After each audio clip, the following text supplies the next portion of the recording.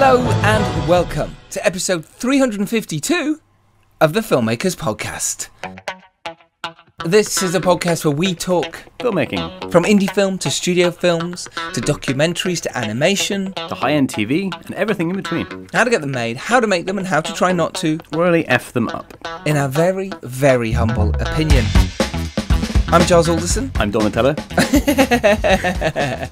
I bet you wish you were. I mean, I, I did as a kid, for sure. Yeah, for sure. But everyone must have called you Donatello back then. I'd hope so. You'd have hoped so, but I, I feel You'd like hoped so. I feel like there wasn't the sort of the pun um, immersion back in in those days. Oh dear, sounds like a really sad time. I know. No fun at all. Yeah. Wow. Wow. Uh, which brings us on perfectly to this week's episode. Does it? Because because there's no fun in this one. No. because we have on the director, Jeff Rowe, and the exec producer, Ramsay McBean, of Teenage Mutant Ninja Turtles. Mutant Mayhem. yeah. Woohoo! Very exciting. Very Um, exciting. Let's let's start uh, with Jeff Rowe. They weren't together for this interview. We did them separately. Um, so let's start with Jeff, the director, Jeff Rowe. So what do we talk about with Jeff, Dom? Working in animation as a medium of storytelling, uh, making something new and exciting on an existing IP, whilst not annoying the people that loved the original. Um, And how to pitch to studios. Yes, we also talk about screenwriting. How he got into screenwriting in the first place, his story structure, and how he moved to directing, and why animation is often a three year process. That's Jeff Rowe. He's absolutely fantastic um, guy. He co directed Mitchell's versus the Machines. He was also a writer uh, on Gravity Falls and on Disenchantment, um, both animation, adventure, comedies. He was just a delight to chat to. Really lovely guy, really interesting. And um, yeah, I think you're going to love him and Teenage Mutant Ninja Turtles. And he's done a fantastic job in the film, yeah. It's got, it's got a lot of adult humour, lots of amazing action, uh, and it's just a fun film. It's just a fun film.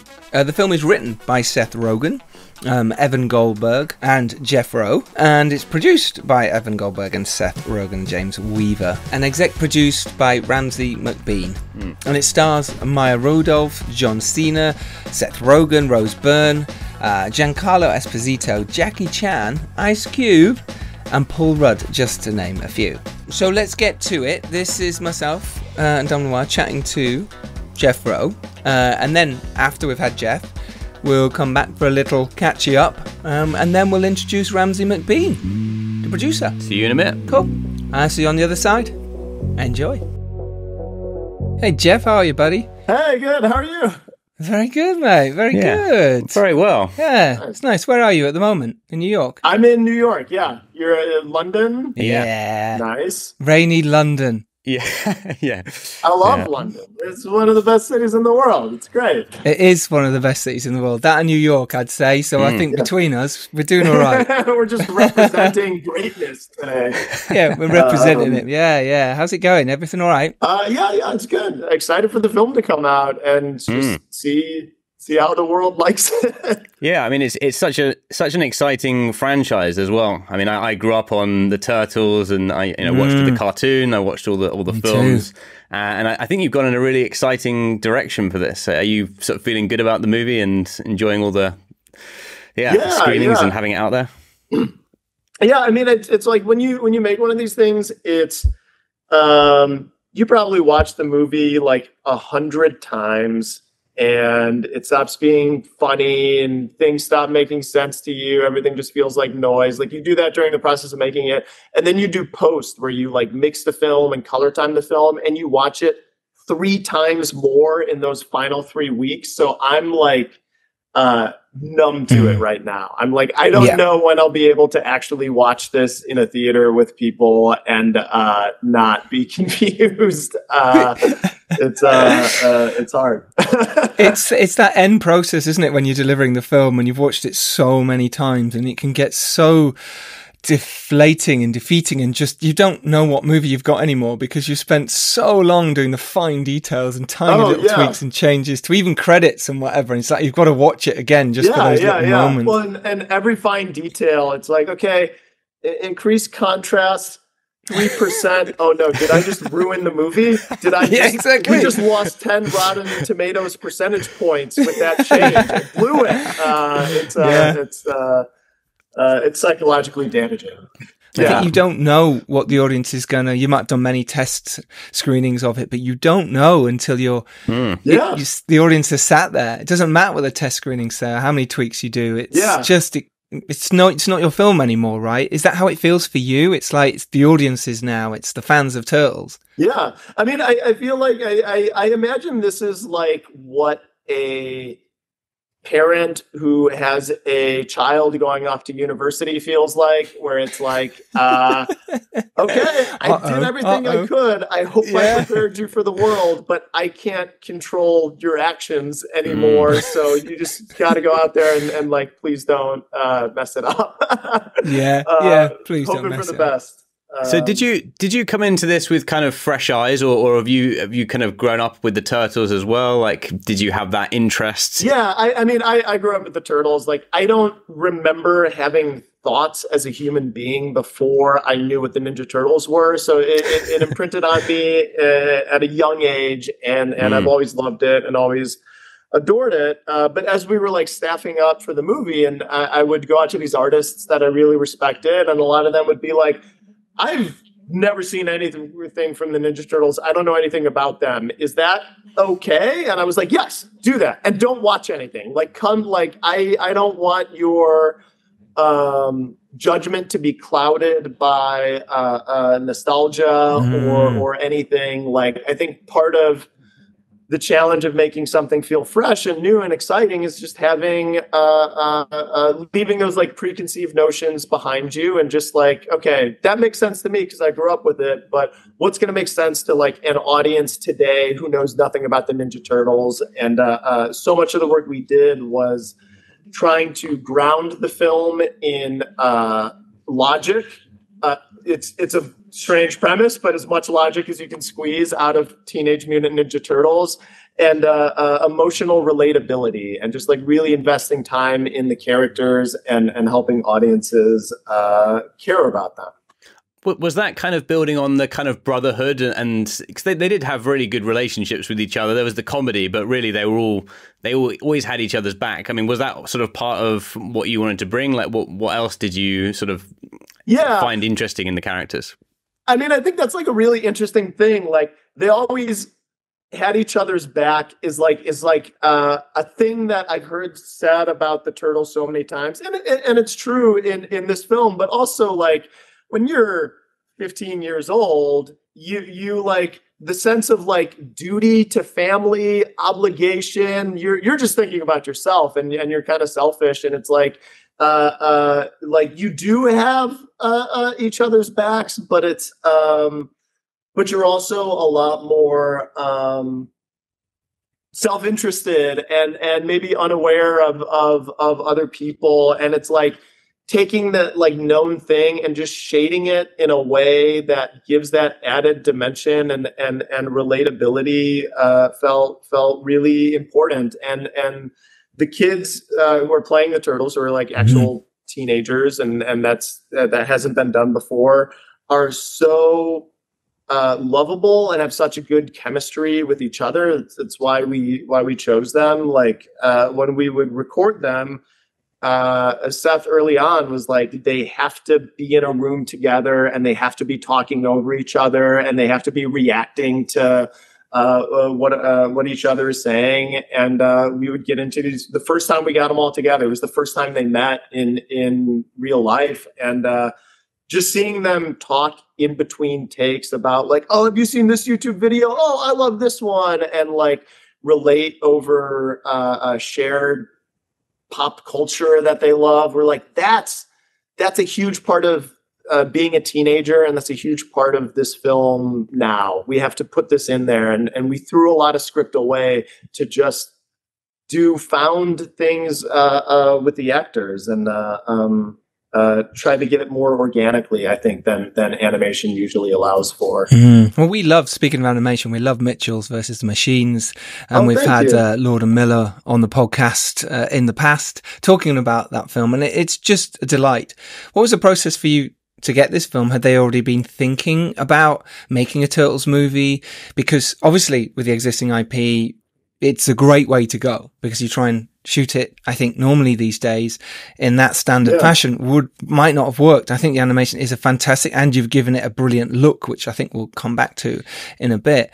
But talking about how you sort of came on board with Seth Rogen and, and Evan Goldberg, had they already been thinking about this for a while before you came on board, or was it your idea? Talk us through that. No, I think I think it was Brian Robbins and Ramsey Naito at uh, Nickelodeon Paramount Mhm. uh, at at Nickelodeon at the time that were like, look, we have this IP, we want to make a new thing, uh, but we want it to be fresh and modern and, and relatable to like actual uh, uh, teenagers and and who I don't know who could we get to do Mhm. that? Who's a cool choice? Seth Rogen?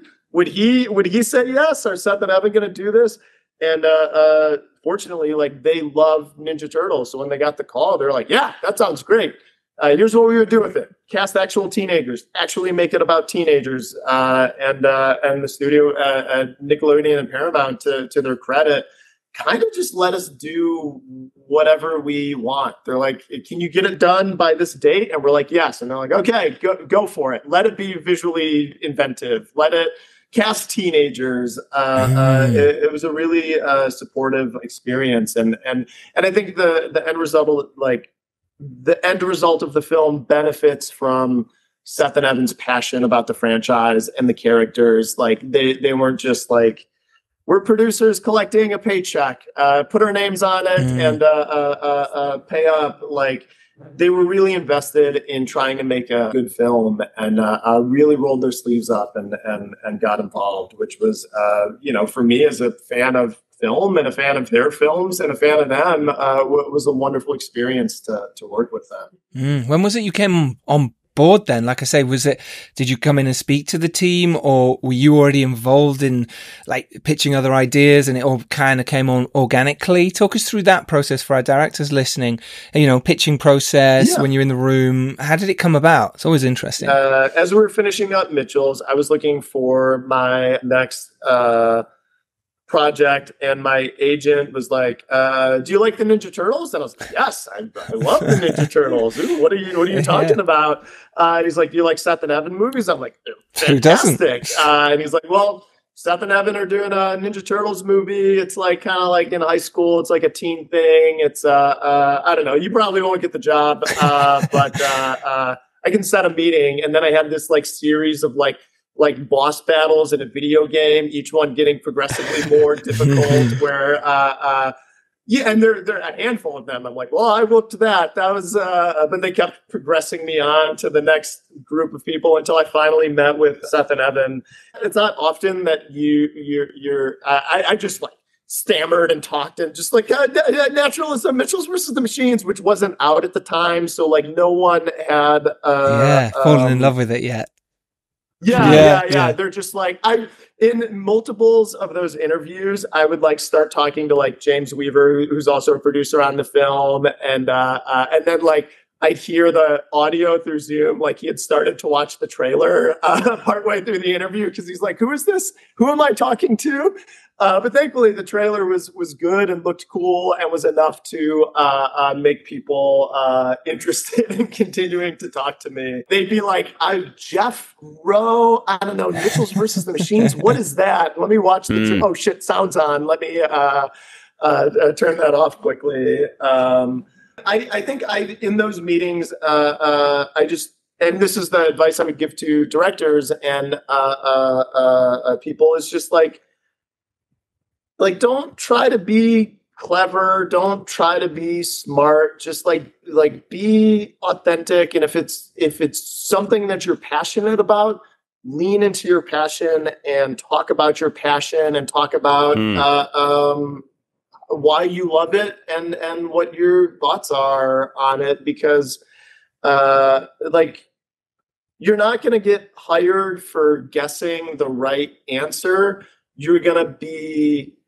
hired for providing an answer that's authentic and true to you that the people on the other side of the, the call didn't even know they were they were looking for um, uh, i'm still shocked i got it but uh, happy, very happy to be here So, so were the, were the script and the art style kind of fairly locked in place when you were going through this pitching process, or, or was that something that you had a reasonable no. amount of, of process with? No, there, there, there, there, there, there was like nothing. Like the script was in process, and and the hmm. original mm. versions of the script, uh, uh, uh, like the turtles were uh, in high school on like page 30 and it was like just them in high school for the movie and uh, uh, it was like wildly different and um, uh, and there was no art style uh, uh, or anything I think they were just like, don't don't make it look stupid.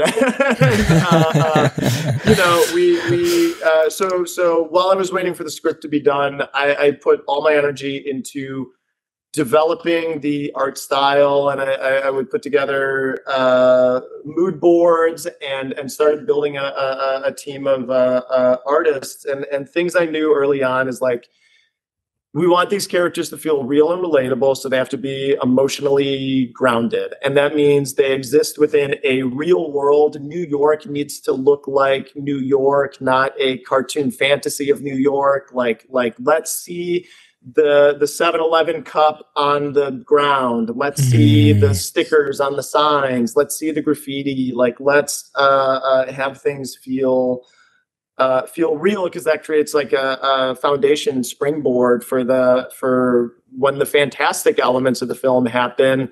They're ten times more exciting because you, you you've mm-hmm. invested in uh, uh, in the reality and. Um, and also like uh, so much of what i love about the original franchise and the toys and the movies is just how unhinged they are. The designs mm. are so inventive and playful and and really really go for it. Uh, uh, and, and i'm like i also want that. Like i want mutant. I want that to be part of this uh, uh, uh, this film and things to be really complex characters with a lot of detail that's like really difficult to do in in animation, but that that was the thing we committed to uh, uh, early on, and uh, and then script came in and uh, we had that and we put up a version of it. And i think the studio was like great you did it. Cool. Let's let's get it done. And then like uh, uh, seth and i were like mm, it's got to be it's got to be like 20 times better than this. And then we we wrote we rewrote it and rewrote it and rewrote it. And then again at one point when we miraculously got a meeting with Trent Reznor and Atticus Ross to yeah. to, to, do the score uh, like we talked to them and we talked to them about the movie and they're like cool like send us a script or like show us a screening or something and we'll and we'll let you know and we're like okay, we have to make the movie like 10 times better. Uh, uh, again, let's completely like rewrite it and fix any any lingering doubts we had uh, to impress our, our music heroes. Um, yeah. Sometimes you need those little kick kick up the asses, don't you? Those yeah. little moments that make you just go, "Oh my god, we thought we were ready," and someone else comes yeah, and yeah. go, "We can't send it and to then, them yeah, like and this." then you imagine like Trent yeah. Reznor sitting in a room watching it, and you're like, "Yeah." No, this has to be better. you've always you've always written. You mentioned writing then coming on you and Seth rewriting and rewriting. You know when you start to write Gravity Falls. Uh, well, when you're part of that writing team, how did you get into it? Because it, it you kind of had a you've had a great journey, I suppose. You know, you've written three TV series yeah. or two at the time before Mitchell's versus the Machines.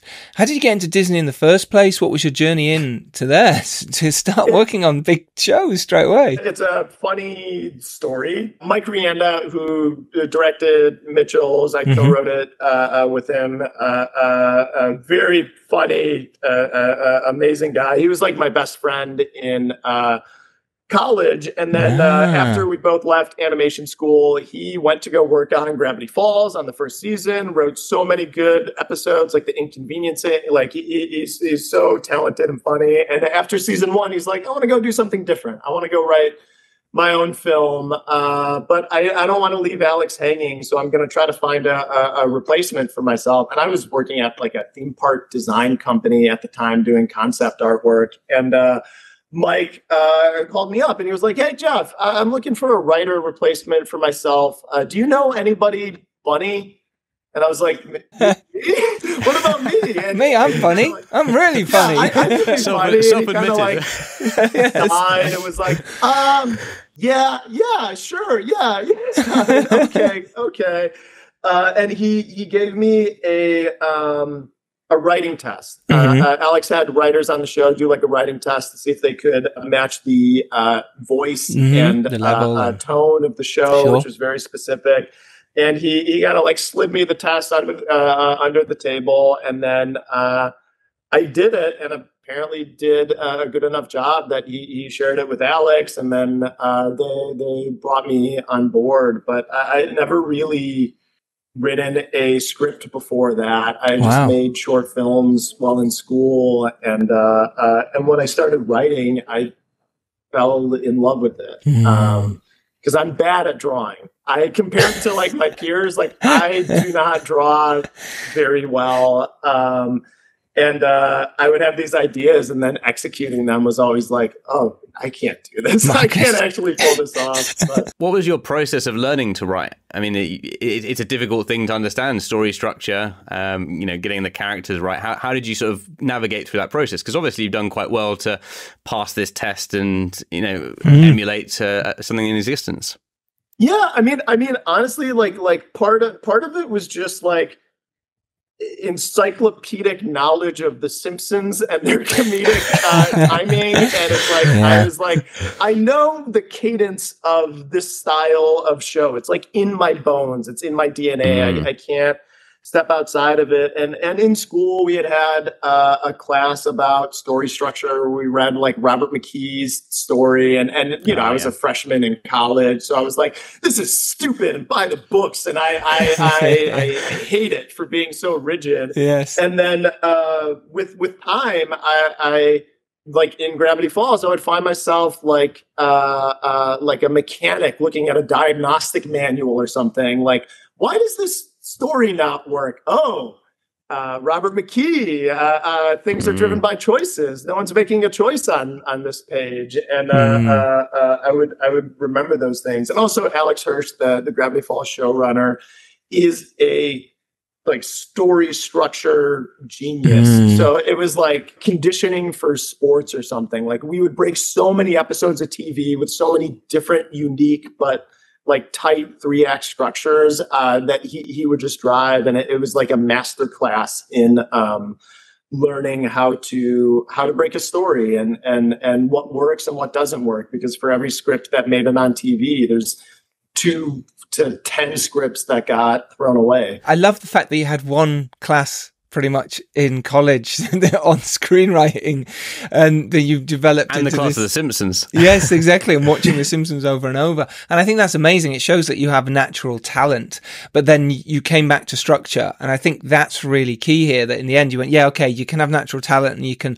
throw in dialogue and bits and pieces, but sometimes you have to come back to structure and story beats, which I think is fascinating.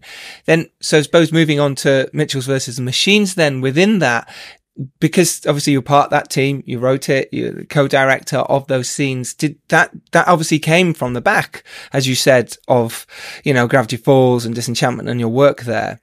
What, again, what, talk Yeah. us through that process as well. Mike Rianda again. Uh, Mm. he, he from from not wanting to uh, uh, give me a test, uh, but by the time I had been on Gravity Falls, and and, and him and Alex are close, so Mhm. so you know he was aware of the work that I was doing on uh, season two, and and sometimes I would send some of those scripts to him just just for his his notes and and feedback, and by but you know.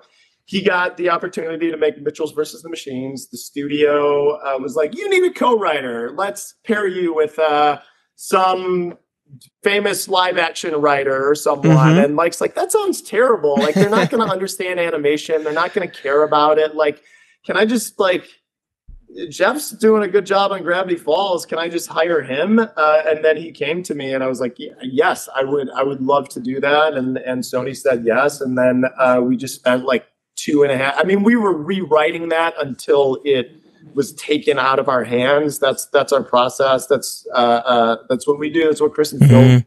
uh, does. That's what Seth and Evan do. Uh, just constantly iterating towards greatness or, or Tempting, yeah. uh, uh, greatness. And how Um, did you make the, the jump across from sort of writing to directing? What were the what were the challenges in that progression? Because it's it's the same thing, but it's also very different. The, the, the, nice thing is like Mitchell's was like about Mike's family. It's it's it's his film. He he knows those characters. Like it was his world, and he had done some uh, uh, uh, directing work on Gravity Falls, and then also we had Chris and Phil uh, uh, above us, who were these like really kind, supportive mentors who kind of taught us like fight this, don't fight this, work mm. on this, don't worry about that, focus on this. This thing you can push back on because they're technologically able to change it. This thing you won't be able to win. Don't put your effort there. Uh, uh, it, it, was so good to to to learn from them, and uh, I was there to support Mike and his vision and help him get what he wanted on on screen, and and that that was a job of like, well, have you thought about this? Maybe you could do it that way. And uh, a common thing we would do is uh, we would separate we'd have an idea for a scene and we're like what's better i don't know we're lost in the woods okay mike you take one i take one we go in different uh, uh, edit bays we build out versions of it and then we just taste test them and uh, uh just keep trying things out until we find what uh, what worked uh, and then and then I'm like, great, I know how to direct now. And then you do it on your own, and you're like, I miss Mike so much. Yeah, like it's a lonely, yes. lonely process, and you yeah. just uh, uh, I think it was like Mike mm. Nichols uh, uh, who said like every director needs a needs a buddy, uh, and and I think what that means is you just need that person that you can sanity check ideas against. Where you're like, I think this is cool, but I might be insane. I've watched this movie a hundred times. Like, does this make sense anymore? And and having someone whose taste you trust uh, to say like, yes, that's awesome go with that is uh, uh, helps you get to decisions and consensus so much so yeah, much quicker. it does having that team with you and around you is so important. And like you say, it can be lonely sometimes. What about when you're working with the actors themselves, the voice actors? Look, the, you know, what an amazing cast. Rose Byrne, Jackie Chan, John Cena, Seth Rogen, Paul Rudd, Giancarlo Esposito. You know, the list goes on in terms of who you've got. Maya Rudolph, Ice Cube. uh, not, not to mention the kids. What about yeah. directing those? You know, suddenly now you're working with these amazingly talented actors and you're talking through how you want them to say mm. the lines or directing them through those choices. Yeah. On Mitchell's, like M- Mitchell's was a little bit of a different comedy style where we had jokes with like setups and punchlines, and they were like like in that Simpson style, like they were intended to be uh jokes so like me and mike would write these mike would scratch all the voices himself and we'd have like a very clear idea of the exact mm. way to say it yes. that makes it funny so often in these records we would like try to without line reading like how do we get the person to say the thing in the way that we intended or do something do something better and that was the challenge and and with this film it was just improvisation and, mm. and which which i i think was was like easier to me and led to a better product because it was like if you give the same note twice and it and the actor doesn't like pick up on it. The problem is not with the actor it's with the uh it's with the line. It's like okay they're not getting what i'm going for and that means that what i'm going for might be flawed. So so i think like having experience writing and also having seth there or uh, a lot of the time we could just be like that's not going anywhere. Let's rewrite. Mm. What's what's mm. something else that we can do here? And uh, uh, it was very uh, uh, improvisational, and, and, I think the the cast appreciated being able to to do that. And then also like Ice Cube is is like he's a master lyricist. He's so. Mm. Funny, like he's really good at writing. Like he, he's yeah. Uh, uh, he's a writer too. Like Ayo Edebiri, like is a, a wonderfully talented writer and would be able to like improv uh, with direction like like oh i can improv in a way that's funny and moves the scene forward instead of it's just funny but uh, uh, tangential mm. do you have any issues when doing this kind of animation style in terms of doing like pickups um, mm. if you've kind of set the the scene in terms of the animation or you maybe recorded the the voices like how how does that work in terms of going back did you need to do much of that or was the improvisation kind of figuring out in advance? it was uh, the impro- improvisation kind of figured it out in advance. You always have to do pickups, and you always have to like, does that fit in the mouth shape? Uh, Yeah, yeah. I don't know. People people don't pay that close of attention, uh, and then when you have a giant flapping turtle mouth, it's like different than like an actual human face. One of the advantages to this is like there's no coverage. Like you can improv for for 60 minutes and then uh, not worry about how the camera angles cut because it's just uh, uh, audio. So it's like we would just let the tapes roll. We would get conversations not about the movie, but just between the kids in between takes where they're just talking about YouTube videos. And uh, we would take all of that, and go into edit, and then it was like a really long, really painstaking process to just like piece that Mm. into something uh, uh, cohesive. But by the time we got to that piece together thing, it, it felt as natural as what was in the record. And uh, uh, there was there was like there's also a couple times where we just had to re-record things because of audio issues, uh, and then we just tried to match exactly what they had improv the uh, the first time. Mm. It must be a fascinating process from start to finish. Uh, what's the time scale then? How long have you been working on this film? You know, because obviously with live action, it's sometimes, sometimes shorter. With animation, it can take long, long time. So for you, it'd be interesting to know when you first started and, you know, obviously now it's release time. Yeah, it's it's it was three years. Like Mitchell's was five years, and no one ever wanted to Mm. make the Mitchells. Uh, uh, like this, the uh, Sony Animation believed in it, but like Sony, the parent company, was like, "Oh, we know, we don't know about this thing."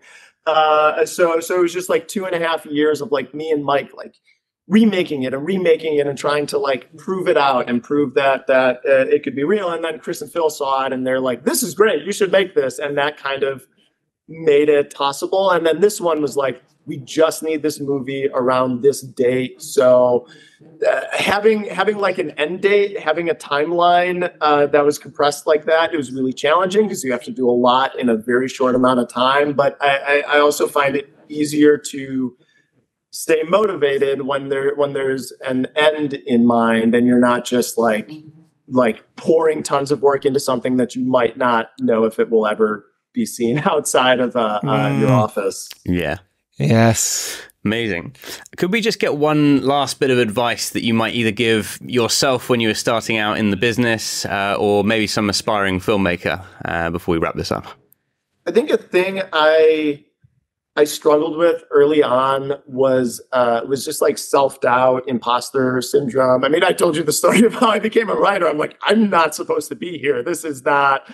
Uh, um, but so so uh, I would often be afraid of doing something that wasn't um, perfect because I, I don't I wouldn't want to look imperfect or or uh, have to acknowledge my my perceived shortcomings and that sometimes came at the cost of me uh, working. It would lead to procrastination. And and the thing it, it took me a long time to learn how to learn and how to just like try something and then react to it. Walk get a cup of coffee go back to it read it and then see how you feel about it and and have that conversation with yourself and and you get to your answers quicker by working through it as as uncomfortable and uh, uh, as vulnerable as as that is, and uh, and also like giving yourself breaks and and uh, if you're like I'm going to start at this time and I'm going to end at this time.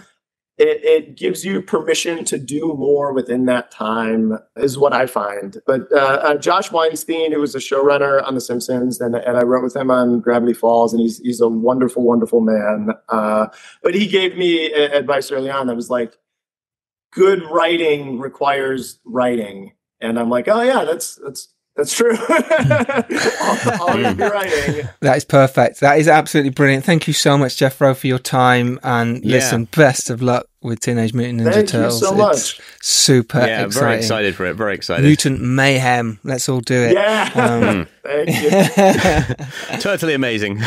how dare you uh, How dare he? he shells out puns all the time. I do, I do. Yeah, we, Sorry, we went Jeff. through quite a few uh, Please- mutant please turtle stop. puns before this, but uh, we we saved you. we'll, Anyway, we'll yeah, never stop. best of luck and lovely to chat. Lovely to chat. Yeah, all the best with everything. thank you Thank you so much. Bye bye. Well, there we have it. That was Jeff Rowe uh, talking about Teenage Mutant Ninja Turtles, which is out now in cinemas. Um, what a fun little movie and what a wonderful man. Yeah, it was it was really an enjoyable chat. Yeah, yeah, I loved him talking about the writing process there and how he moved from being a, a screenwriter to a director, how he, you know, found his feet. I think that's incredible, really. When you think about a journey of someone, it means he had talent. It means that he was very affable and a nice person. People wanted to work with him as well. Yeah, no, definitely, and, and I think um, I think I'm seeing there's there's two sort of parallels which I which I really like in. Um, one of the other interviews that we did for, for Paramount for, for Transformers as well is you know finding people who have a passion for the sort of the franchises and and bringing that warmth uh, into the into the mix, but also mixing it up with new ideas. And, and, I think that's why that way you get these offerings that are both fresh but also authentic. Uh, and, and I hope uh, hope it does well. I really do too. Well, anyway. Let's get on to Ramsay McBean. He's the exec producer of Teenage Mutant Ninja Turtles. He's also exec produced Paw Patrol, the movie Sherlock Gnomes, uh, co produced Cherry Cake, and when he was at Mikros Animation, he did the SpongeBob movie, SpongeBob on the Run. Um, what a lovely guy. What do we talk about with Ramsay? We talked about how to exec produce an overseas production, how to win projects at Paramount, and the importance of communication and collaboration for creating good work amongst the team. We also talk about story and improvisation when you're working with actors and how you might have to change everything because Ice Cube's come up with something really funny or Seth Rogen has, and you've got to do all the animation again, um, which I imagine happened time after time.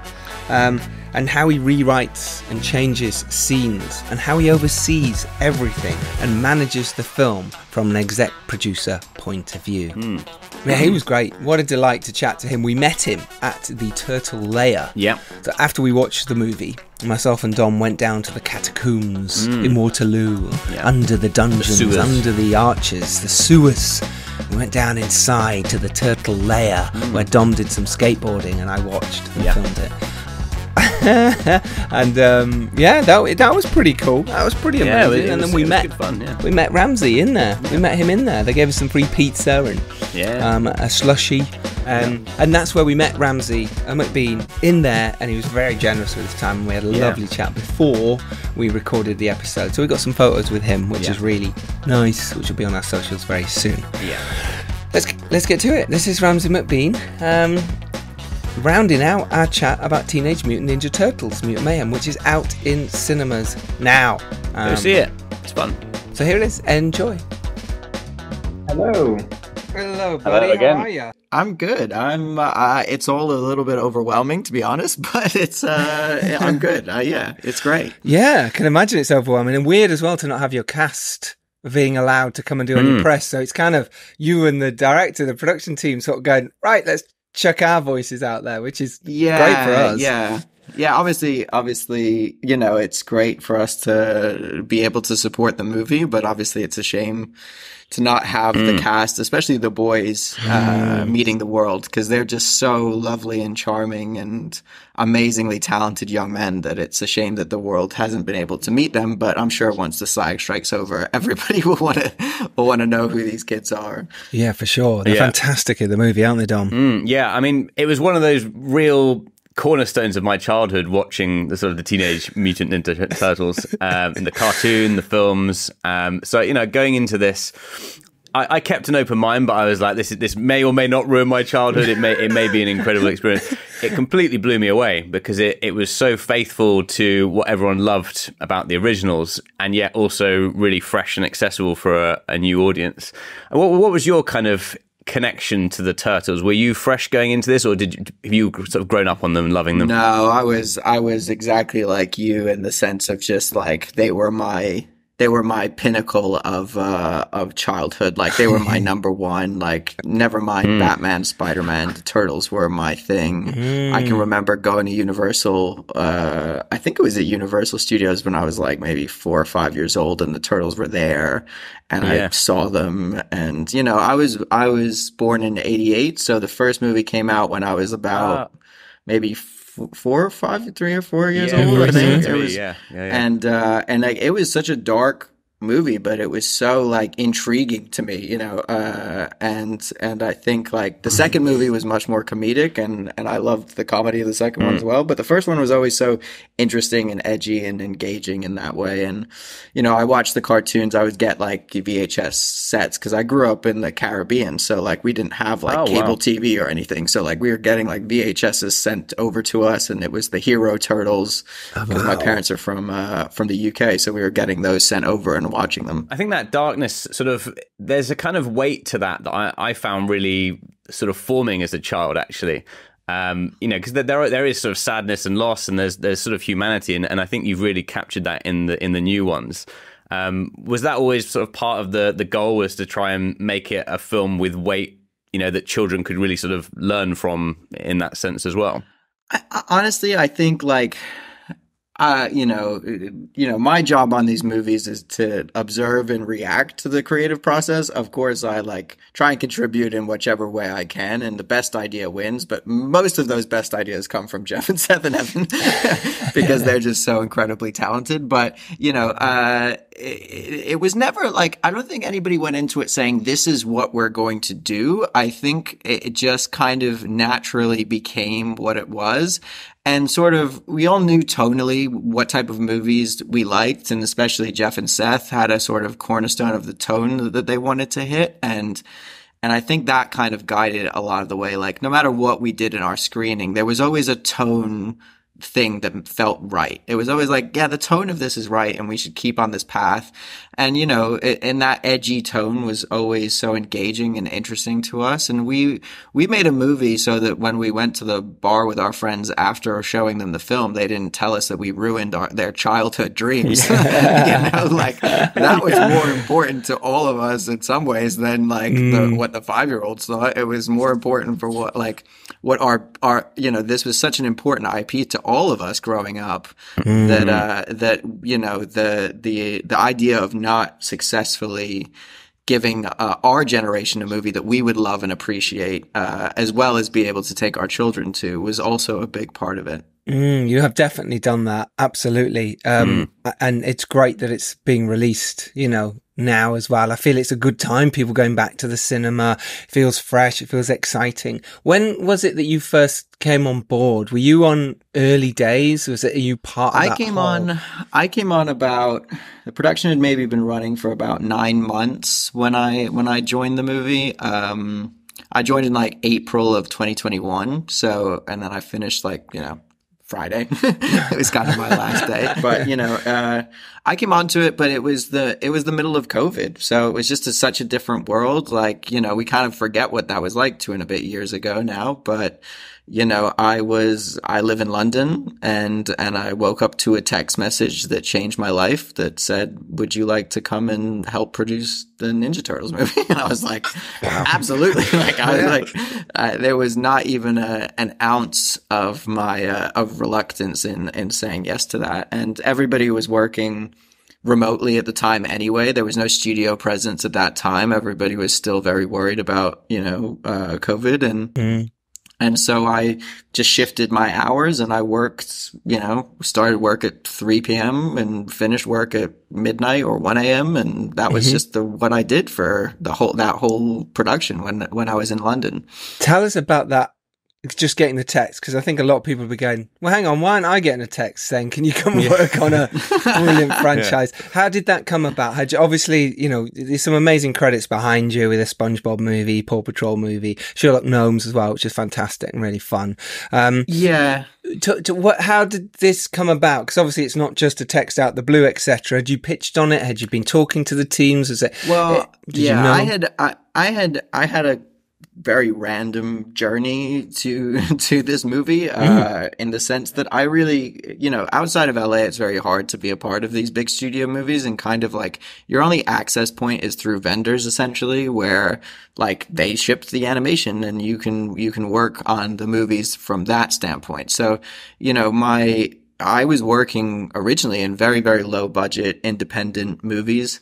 Um, and and most of which were animated in India and I was kind of I would kind of supervise them from here and I kind of came up through that and just kind of learned sort of production on really really low budget films and then uh, I got the opportunity to join Mikros Animation when they were making uh, Sherlock Gnomes, and that happened to be getting made in London. So I just got very lucky that there was a film here, and that was the first film to feature film to be made in London for a long time since like Tales of Despereaux. So like mm. there was like a good like almost ten year I think gap between those two films for CG animation. So it was such a big opportunity, and it became a sort of hub of talent uh, that wanted to do a bigger uh, movie. But I came at the very end of it and helped sort of deliver it and kind of had a relationship with Paramount from that standpoint.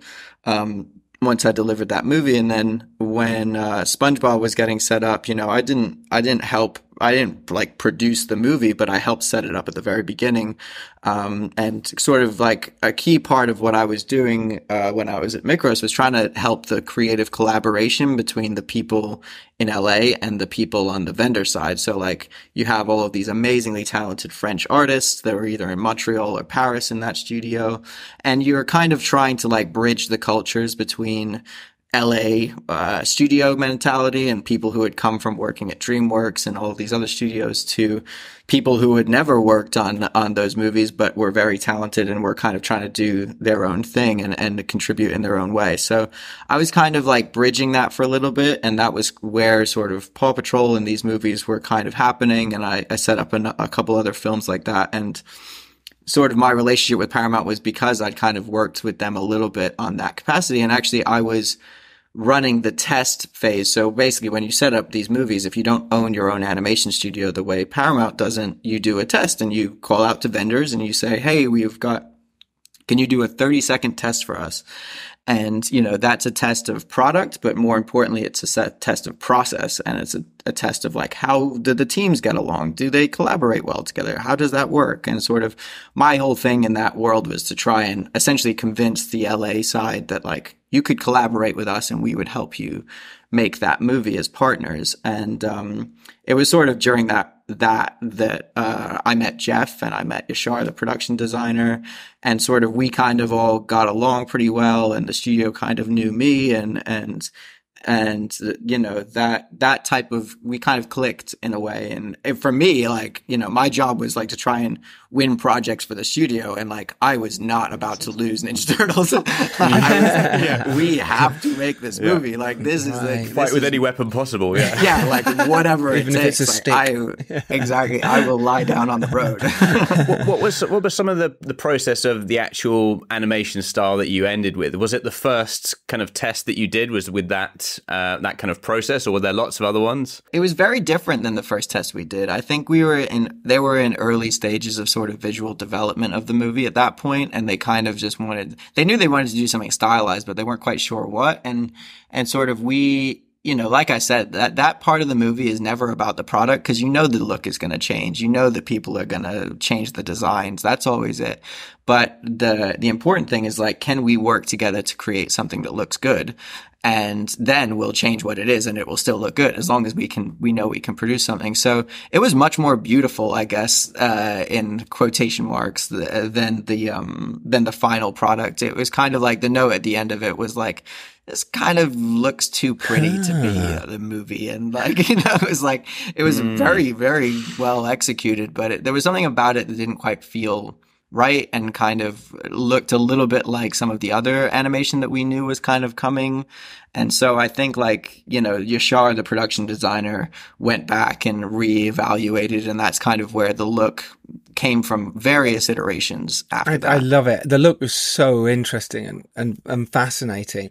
It, was there ever a point with any movie like this? And I'm pretty sure the answer is yes, but it'd be interesting to know from the animation side where you're developing this project, but it could fall down. They could say, no, we, we the look of this it's not working or the idea is not working. Was that development process after you came on board? Was it still ongoing? Was there still a chance that, you know, we still need to get the yeses from, you know, Paramount at this point? Uh, no, I think like, you know, the the fortunate thing about this movie is that everybody was so passionate and believed in the team from the very beginning. Like, you know, we had all movies go through their ups and downs and have their good moments and their bad moments, but ultimately we all knew deep in our heart that like Uh, Seth and Point Grey's experience combined with what Jeff had brought to Nickelodeon and Paramount, combined with sort of the CG animation people that we had put in place, like we're going to make something great. It was just like we all had to kind of hold hands and just be like, we're all in this together, guys, studio included. And, and, you know, I think that that's what allowed us to work very collaborative with each other and honestly about the things that were working at the moments that they were working and the things that weren't working at the moments that they weren't. And, you know, I think there was obviously some questions at the very beginning of the visual development, like, what is this? you know, what is this going to be? Like, what is it going to look like? And honestly, part of us, part of us didn't even know what it looked like. You know, we were playing with so many rules that like, were very established, like perspective and things like this in CG that you're like, you know, you we have to keep perspective. You can't break perspective in art. You know, it has to always be to camera and, and the truth is, in our movie, perspective is never is to camera for maybe one shot, but then the rest of the shots, it's not. The, the design mm-hmm. doesn't work like that, and it, it, kind of made it free. And once we realized that worked, we kind of the shackles were off, and we could do uh, the the visual development team could push things a lot further. Mm. Do you have to f- sort of factor in the flexibility um, with a film like this? Because we've mentioned that the actors do a lot of improvisation. Um, how do you kind of factor that in with scheduling and budget and kind of working things out, at, you know, at certain points? Is, is that a challenge, or is it something you have to discuss really up front? Well, I think like, you know, I think for, for this, this was always about being able to be as reactive and pro as possible because being proactive was kind of challenging because of how unpredictable a lot of the things were. And, uh, and a lot of that was based around story, like what would work, what wouldn't work, what the actors would improvise. And really, like I said, it was always best idea wins. So no matter where you are in the process of the movie, if somebody does says a line or does a joke and it's good, you're kind of like, well, we gotta mm-hmm. put that in the mm-hmm. movie, you know? And, and it was kind of my job to work with Jeff and Seth and like as much as possible try and get that into the movie essentially uh, by you know begging the uh, various other people that would have to do the work to to do it you know. But you know i think that the good thing is is that like i said it wasn't just us who believed in it. Every you know whether you were an animator or a junior artist or whatever everybody felt like they were going to be a part of something special um, and you know that's that was our goal. And you know if you're an animator or somebody who works outside of like the big studio system a movie like this does not come along very often. Like this is a mm. very, very big IP with a very, very big producer mm-hmm. and a mm-hmm. great director and great production team for you to get to work on, you know, outside of the LA studio system. So what an incredible opportunity. And because of that, we just had talent pouring in from all over the world to come and work on the movie. And that allowed us to be more flexible and absorb more changes because all of these people were so good at what they did that that when we changed something, they would catch up quickly on the schedule side. Uh, you know, uh, you know, it was it was super dynamic uh, throughout. Can you talk us through the time process of something like this, from when you came on to going through the starting the animation process and then the, the actors coming on doing the dialogue and then redoing the animation type thing to actually getting a, a version where you can show how long does that process take especially on a movie like this well, I think like there's the you know the we have lots of different there's lots of different things going on at once in terms of like the machine of everything and you know at peak we have like every single department running while also doing story while also finishing shots mm-hmm. but the story is in flux throughout that whole thing, right? So, you know, when you're at early stages, you're getting a script and you're storyboarding the script and you're, and you're, you sometimes don't even have the voices, the real voices in, and you're just trying stuff out and experimenting. And, you know, a big, you know, now that you've seen the film, like you can tell the boys being together was a big influence on the movie, like recording them together. Mm is was such a magical thing, but we didn't get to do that until halfway through the movie because of COVID. Right. So you couldn't put four people in a room. So we're there making a movie normally, you know, as you normally do, and we're, you know, things are it's like, okay, this is working, that's working. And then halfway through the production, we get the four boys in a room together with Seth and Jeff, and they just go, be teenagers, and they just Uh, the room exploded with energy and we just went wait a minute. Everything we have done is going to change. Like this has changed everything about what we know how we're going to record them how we're going to deal with all of this. It just changed everything and to Jeff and Seth's credit, as much as I was like, please, can we do it remotely again? They would be like, no, because obviously on the coordination of getting those everybody together all at the same time is always a always a challenge. But they were absolutely right. It was like once we all sat in the room and saw it, uh, it was it was so it was so magical and so spontaneous. And uh, you know somebody in my job uh, it's a nightmare but because we all cared so much about the movie we're like so passionate about trying to make that work and and how did cast come into the considerations? Because there's there's a pretty big cast for for the animation. Was that always okay? Well, we need to work on this animation style. There's going to be this much action. It's going to take this long, but let's we we need this amount of cast, or, or was it kind of a bonus? Because it, it does feel really loaded uh, with some you know great names as well as the incredible sort of turtles as well.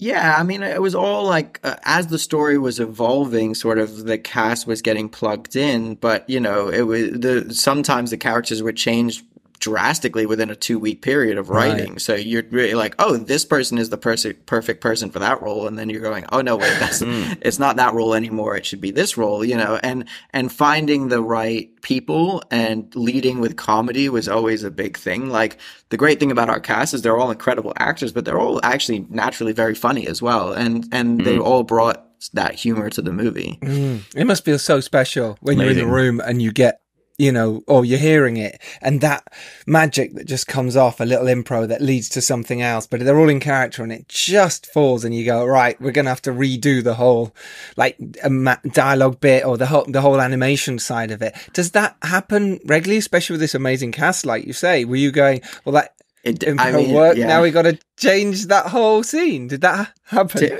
yeah, typically, typically you try to avoid it. You know, if you go to if they taught production at school, they would say don't ever do that. But mm-hmm. uh, the mm-hmm. reality is, is like you have to. And like I think you know, in some cases, if you if people if people on the journey felt like, oh, we're just changing things for change's sake, mm. then that's when you lose the morale of the team. That's when everybody's getting to, going like, oh, these guys don't know what they're doing. Like that's when that whole mentality begins.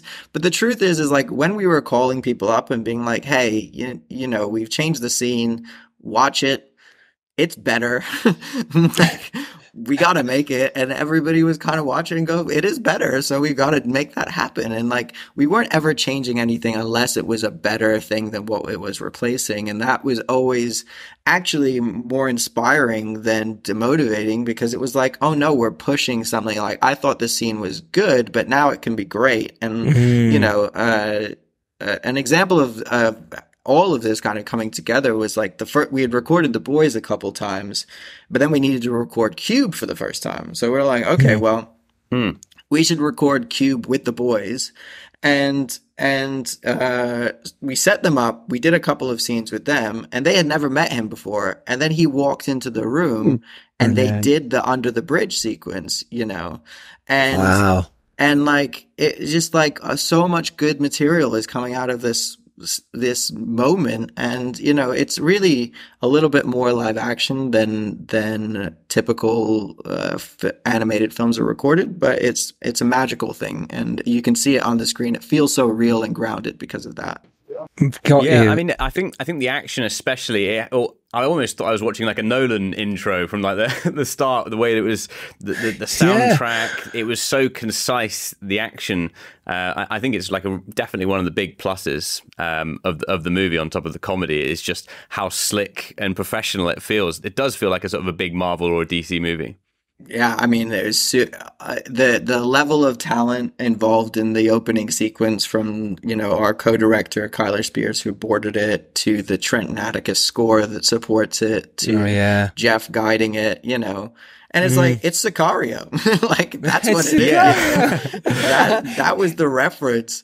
That was the reference. Wow. And, okay. And, That's amazing. And, and you know we you know our head of cinematography Kent Seki did Mm. uh did a whole like presentation of all the different ideas and worked with Jeff on like what was inspiring Jeff and it was like Boogie Nights and Sicario and uh, you know Spike Jonze and like Hmm. that's what that's the movie like it, it's not like you know your traditional references um you know we Mm. have so many long shots in the film as well that make the film really you know, we've got several shots that are over a thousand frames, which in Wow. animation is like a very scary uh, prospect. Um, Yeah. but it's it's what makes the film feel real because that's kind of how you shoot live action. It really does, make- yeah. It really does have that element of live action, and it, it grounds it and it makes it really compelling. So, um, yeah, very well done that side. Yeah, yeah, re- really well done. Finally, um, what have you learnt from making this movie, uh, Teenage Mutant Ninja Turtles: Mutant Mayhem, or a previous movie that you are going to take forward uh, to your next film? Something that you learnt as a producer, exec producer. honestly like uh i've learned i mean there's so many things i'm trying to think of like what what what would be the one that i would put forward but you know i think you know a lot of the movies i worked on before i was on the vendor side and i was uh, kind of a, separated from the creative process a little bit and and kind of just responding to it as a vendor as people who get shipped the movie and then say you guys make it. But this I got to be a part of something that was so creative and and you know Jeff and Seth and Evan and Point Grey's amplitude for for success and being great and, uh it was so high. The bar they set themselves was so high and higher than most people were setting for them. You know they they were the ones who were always pushing the boundary and it was so inspiring to get to be a part of that with them and to try and get the team to respond positively to the way they work. And, and, and like i said it was easy most of the time because their ideas were always so strong and so compelling and and it was it kind of i guess like being more reactive and uh, to the creative process. And instead of trying to like build a production structure that controls the creative process because you have a deadline and you have all these things like building a creative structure that understands the creative uh, the, a production structure that understands the creative process and can support it in different ways it's not you know it's something i would love to try and get better at as I go in my career. But that's sort of like the fundamental thing is like understanding how different creative groups work together and then trying to figure out how to make that something that is manageable and possible and delivers and gives gives the audiences everything that they want. Amazing, absolutely brilliant. Uh, Yeah, really great advice. Really great. Ramsay McBean, thank you so much. You've created a wonderful film and we I loved, it. Yeah, we really did. We, we At had a very small part of great, you know, Yeah, the but- film is the film is six six hundred people plus in Mm-hmm. four different time zones and four different vendors. You know, we have 2D animation sequences in Mm. there that were done in Paris. We have, you know, we had two different vendors. We had Mikros Animation, who were the sort of lead vendors, and we had Cinesite, who were who did 20 minutes of the movie wow. and you know that was that was in itself is a whole story like how having two different studios achieving the same look and i would wonder i would ask you guys could you tell No. which which vendor did what No. shot and, and I think that's No- testament no that you chance. obviously have, have learned a lot about collaboration, collaboration and communication. So um, well done for all you've done in the movie. Yeah. no, I, I, I've, I've been wanting to ask somebody that question for about a year. I'm like, if we can, Yeah, if I people can come in and watch no. the movie and they can't be like, yeah, that one felt a bit different than, uh, than No, then no that would be chance. Not a chance. Al- Also, just No. you, I think you're just completely swept up in the story as well, and I think that's that's you know you're not looking for Mm. which animation is different. You're just you're in the characters, you're in the action, you're in the the comedy. So yeah, Yeah. Yeah. So well done. No, no, and amazing. Amazing. Thank you for your time, Ramsay. Really appreciate it a lot. No, thank you guys so much. It's great. I'm glad you enjoyed the movie, and thank you so much for your support for it. It's uh, it's a dream come true for a lot of us to to have people love this film. So I, it's uh, overwhelming for for people like me to get to share the film with you guys. I love that. Brilliant, of course. Thanks, buddy. Thank you so much. awesome. Cheers. Cool. Bye. See you later. So there we have it. Uh, that's Teenage Mutant Ninja Turtles. Mutant Mayhem is out in cinemas now. Uh, this isn't just for kids. This is fantastic. Really fun movie. You like turtles as a kid, Definitely for the adults. Yes, there's definitely a lot of adult jokes in there, but um, that doesn't mean you should be put off because there were a lot of kids in there when we were watching it, wasn't there? And I think a lot of them went over their heads, uh, those jokes. And you can imagine, it's Seth Rogen, boys and girls. Of course, it's going to um, Yeah. have a little bit of naughtiness in there, but it's wonderful. It's Yep. so good. So, huge shout out to Jeff Rowe and to Ramsay McBean for giving us so much knowledge and advice of making that movie and from them. Uh, so, there you go. I hope you've enjoyed this episode of the Filmmakers Podcast. Go out there, make your films, make your animation, come up with a story, Become a turtle. become a turtle. Uh, Learn martial arts and turn green. yeah. And you can be Michelle. There we go. Michelle. Mich- you can be Michelle. No. Yeah, don't be don't be shellfish. Oh my gosh. So, Oh, we, we did so well did throughout the so episode. the end. Um, yes, so go out there, make films, and if you're lucky enough to rise up and do well, which is your duty too, Jump down into the sewers and fight bad guys as a turtle. cowbunga dudes. Till next Tuesday. We're lean, we're green, and we're mean. Take care. Bye. That is a reference to the film, by the way. It's not just Dom. Um, yeah. Yeah. Yeah. Good. I mean, it might be. It might be. Who knows? Who knows what's happening? Who knows? On next week's episode, it will be Jane Gull and Karen Newman talking all about their film Love Without Walls, which is out now on digital platforms. Beautiful, beautiful film. Go support it. Why not? Why not support all the indie films uh, and the filmmakers you hear from on this show? But that's next week. Take care, everyone. Bye bye. Adios.